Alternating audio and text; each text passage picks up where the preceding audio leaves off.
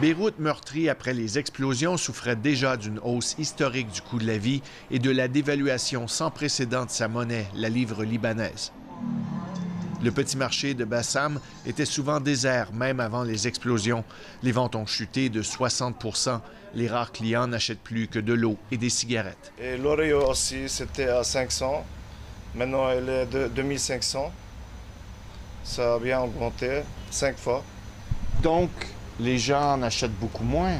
Oui, les gens n'achètent plus. Il y a seulement les riches qui achètent maintenant. Le Liban importe 80% de sa nourriture et l'achète en dollars américains. Avec la dépréciation de la livre libanaise, tout coûte 4 à 5 fois plus cher.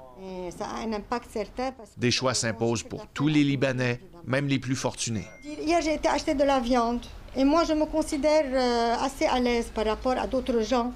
Et je voulais un kilo et demi, j'ai acheté un demi-kilo à cause du prix. Et encore, je dis, moi, j'ai acheté de la viande. Il y en a d'autres qui n'achètent plus du tout. Pour survivre, de nombreux Libanais se tournent maintenant vers l'étranger. Ils dépendent de l'argent que des proches vivant au Canada ou aux États-Unis, par exemple, leur envoient pour tenter d'aider à passer à travers cette crise économique. Les files sont souvent longues pour obtenir ces transferts internationaux, à tel point que Western Union ne peut répondre qu'à 250 clients par jour à cette succursale.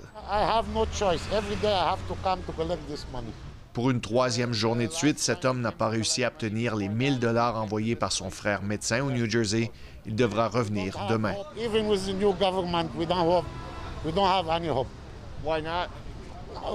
We have bad uh, experience with all of them.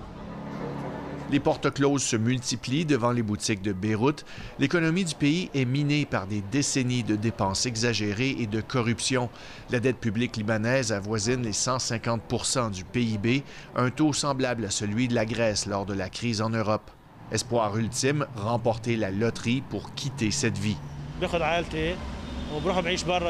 Hicham rêve depuis 30 ans de remporter le gros lot et d'amener sa famille au Canada.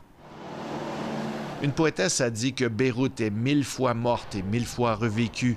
Après la double explosion meurtrière, elle devra renaître dans un pays au port du gouffre économique. Ici Philippe Leblanc, Radio-Canada, Beyrouth.